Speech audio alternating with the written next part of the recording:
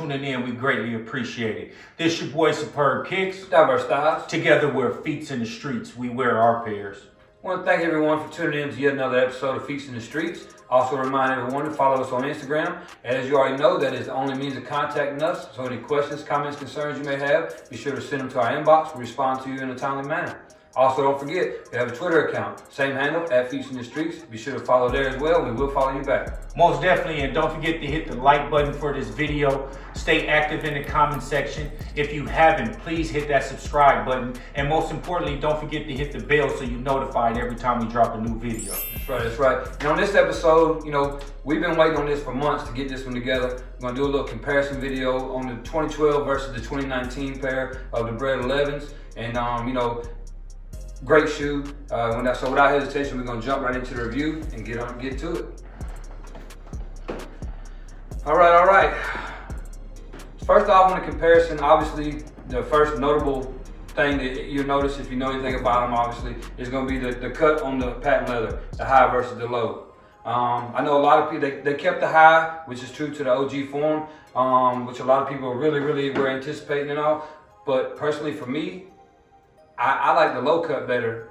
I think it's just because I, am a short guy. I like the low, the short look to it. I don't know if that's the reason or not, but personally, I like it better with the low cut. Now, one thing I would like to see on the 2012 pair, even with the low cut, would be the white outline around the patent leather. You know, that's a nice touch. Um, kind of just pops off the shoe and it adds a little bit of white versus just on being on the outsole.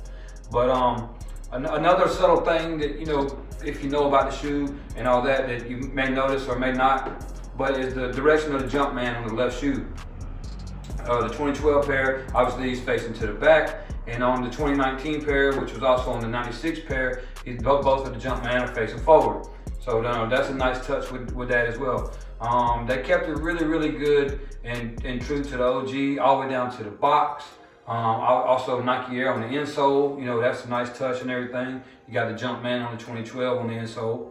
Um, but overall, they did a really great job. Uh, obviously a holiday release, you don't see a lot of quality control issues.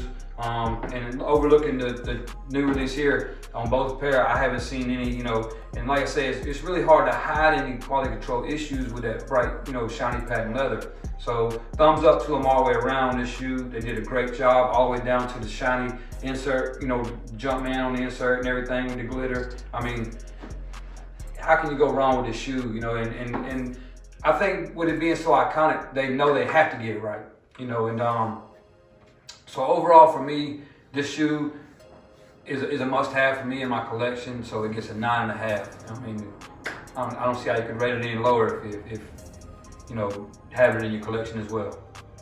All right, for me, I'm gonna elaborate a little bit more on the quality control on both pairs. Both pairs, just looking over them, um, don't see no flaws at all. Um, really ideal um, how you want your Jordans to come.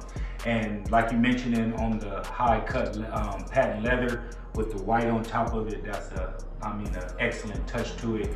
And I didn't know how much I liked it, the high cut, until looking at the low cut on the 2012s. You know, unfortunately, I don't have these in my collection no more.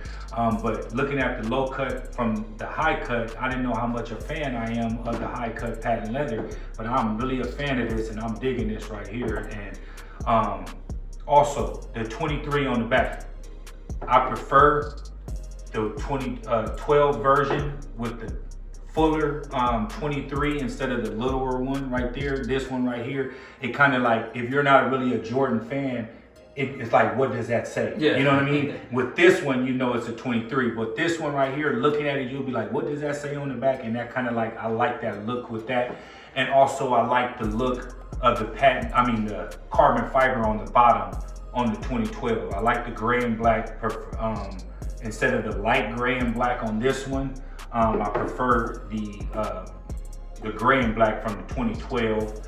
And other than that, um, besides the patent leather and the white around the patent leather and the 23 on the back end, and like you mentioned, the um, Jumpman facing in the uh, same direction on these is an excellent touch um, on these back to OG form. But only thing that I wish that these had would be a slide in, slide out box. you know, with the 11, you know, I'm a I'm a uh, shoebox collector. Um, unfortunately, I don't have uh, drop fronts yet, but um, them 11s, I anticipate 11s coming out with the slide slide box. I mean, I just love those boxes. They just show unique. But at the end of the day, we got an OG box like a 12. You know what I mean? So um, I'm not too dissatisfied. Um, as long as they didn't come with one of these new boxes, the black one with the gold on the top or something like that. But overall, man, I'm, I'm happy that the shoe came came back out, um, re-retroed, um, ecstatic, should I say, and can't wait to get these on foot.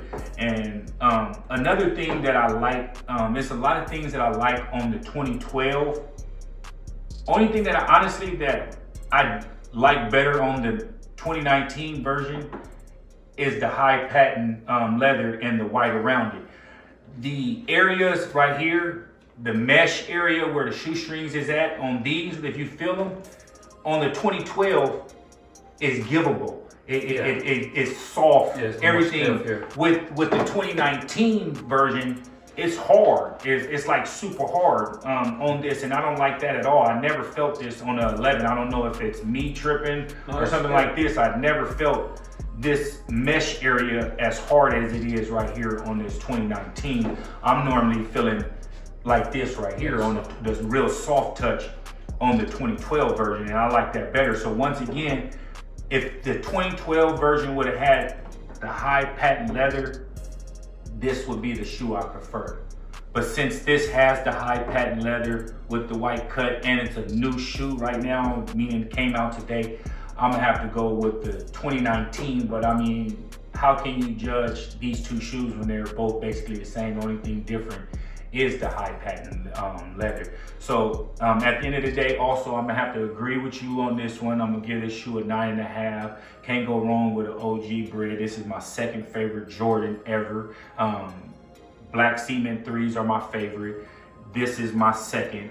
And I'm gonna have to go with a tie with the bread folds and the Concords. I don't know which one I like better. I mean, of course I like the bread folds better, but you can't leave the Concords out in your top, you know what I mean? So I'm gonna have a three and a 3A with that one. So just back to the shoe, like I mentioned, um, once again, I'm gonna um, give this shoe a nine and a half also with my boy. And if there's anything you want, if you want to give them your top three, why, you know what I mean? Why yeah, I definitely have a top three and I have to break mine into two categories because uh, obviously with the bred, um, you know, this this is in the top three. The bred one, the black cement three, and the uh, bred 11 are my top three in the bred side and of colorway. And then non-bred colorway would definitely have to be um, white cement four. Um, gonna have to go with probably the Concord, of course. And it's a toss-up for me as well on on the third one. Um, probably go with maybe the, the, the Euro release of the Gym Red ones. Uh, that or possibly the Royal one. I, I, wear that, I give that shoe a lot of wear as well. So, um, you know, that's my top three on two, both sides. And to go back and, and touch on something you mentioned too about the slide box. Um, like I say, I do like the fact that they did the OG box on this release here because there's so many of the OG touches that they added to it and, and stayed true to. I, have to this day I do not understand why this was the box we were given in 2012. You know, 2010 was the Space Jam slide box. 2009 uh, was the Cool Gray slide box. Um, 20, uh, 2011 was the Concord slide box. 2012 you get a flip top box. At least we got the, the insert and everything um, and everything on that. Uh, but that shoe gonna sell regardless. So oh yeah, have to spend the extra money. That's you know true. I mean? But and then they jump right back into the next year with the Gammas um, slide box. The 7210s get a slide box. The I don't think the 7210s had a slide box. I got those in there. They don't have really? a slide box. I thought they did. Nah, oh, okay, well, I'm mistaken there. But I know that they kept that going on with the Gammas and everything. It's like, why did they skip that one year? Who knows? Whatever. They, regardless of not having a slide box, it definitely was making their way to my collection. And um, but yeah, I mean, other than that, that doesn't take away from the shoe. Obviously, you know, you hear people say you're not wearing the box. I'm a box collector. Um, I, I, love looking and seeing the whole wall of boxes and everything. And I mean, you see how I label mine because it's hard to read labels. You know, get so many different pairs.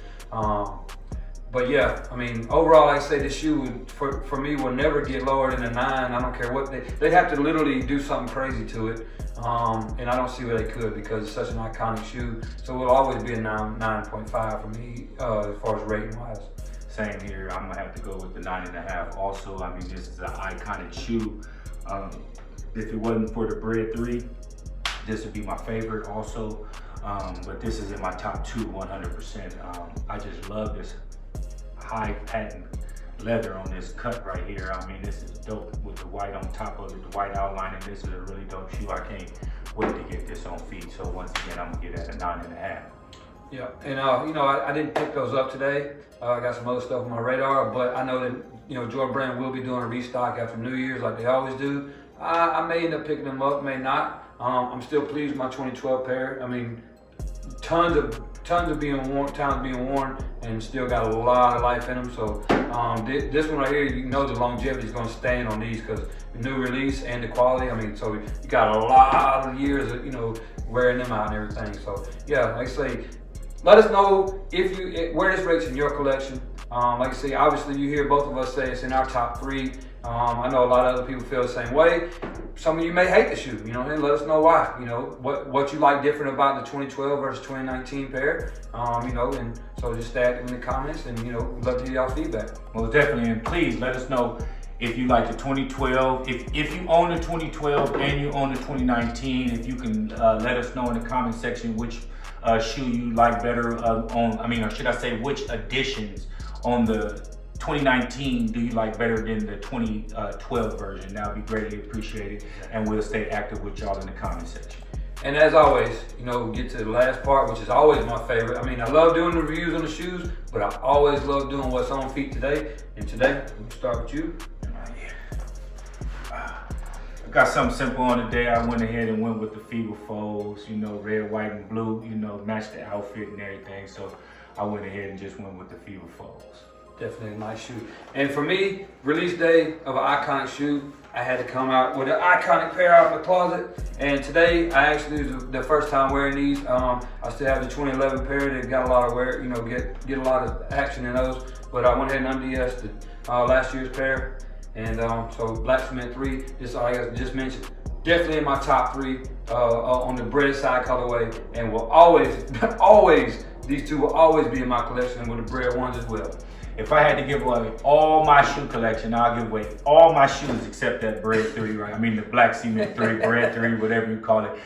I am not giving that shoe up out my collection. That's gonna be the, the long-lasting shoe in my collection. I'll be in the nurse home with a pair of them. you did. Take, give me some new shoestrings. They right, right. you know. It's soul swapping if you got to. Man, something. As always, we greatly appreciate y'all for tuning in. Y'all can be anywhere else, but y'all chose to dedicate y'all time with us, and we greatly appreciate it. Without y'all, no us. Thanks again for tuning in. This your boy Superb Kicks. Diverse Styles. Together we're feet in the streets. We wear our pairs. Until next week, appreciate it.